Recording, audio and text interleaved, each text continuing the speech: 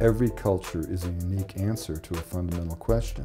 What does it mean to be human and alive? Because the greatest curse in the history of humanity, a curse that goes back to the dawn of awareness, is cultural myopia. The idea that my world is a real world and everybody else is a failed attempt at being me. M my point is that cultural myopia, not just a curse of humanity, but it's the one horrific trait of humanity that in a multicultural, in pluralistic, interconnected world we can no longer indulge. As if literally all of the glory of the rainforests and, and, and uh, the natural uh, wealth, the, the, the, natural capital of the forest was just sort of being put into a grinder yes. and ground out to produce money, you know. Let me ask you a question. What's the formula of photosynthesis? Carbon dioxide and water sparked by photons of light creates carbohydrate and releases oxygen. But you could easily graduate not just from this undergraduate university, but from law school, from business school, without knowing the formula of life. Yeah. How can we possibly get people to understand the profundity of biological relationships, the profundity of ecological connections, the, the interdependence of life itself, if they are utterly scientifically illiterate? We accept that someone can be fully educated who has not the slightest idea of anything to do with biology. Think about that. That's really what the whole wrap of development is. I mean, the whole development paradigm is, is, is questionable. I mean, genocide, the physical extermination of a people, is universally condemned. Ethnocide, the destruction of a people's way of life, is not only not condemned, it's embraced in many quarters as appropriate development policy. You know, pastoral nomads or, or, or or uh, hunters and gatherers don't fit the image of the nation state, and therefore they have to be eliminated, right?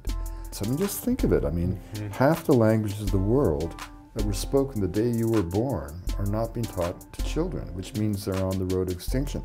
To lose half the languages in a generation is to literally lose half of humanity's collective knowledge.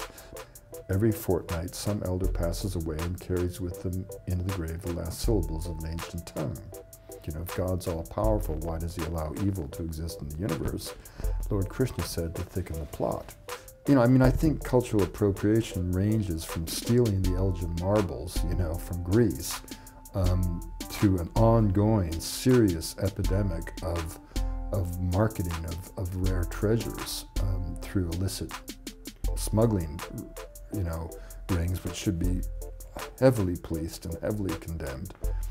I mean, the, th the thing that we forget is that this incredible social transformation, women in a generation going from the kitchen to the boardroom, people of color from the woodshed to the White House, gay people, men and women from the closet to the altar, um, school children talking of biodiversity, the biosphere, of Gaia, people beginning to abandon traditional patriarchal religion uh, for the for the, the, the subtle nuances of, of the Dharma in Buddhism, which is one of the fastest growing religions in the West.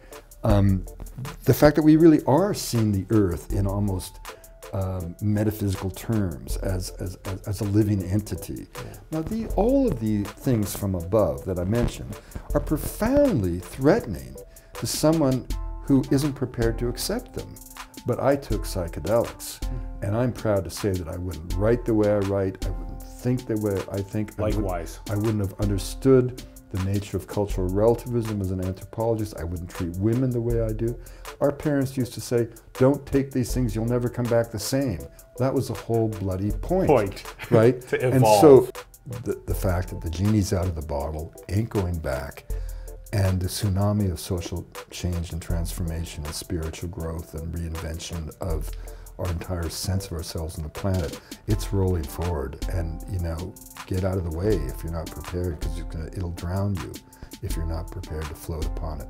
You know, Facebook, Twitter, I mean, six, basically six billionaires in Silicon Valley have within their hands um, the ability to protect or, or, or frankly destroy our democratic traditions that have developed in such a powerful way, but always on, by definition, a fragile foundation.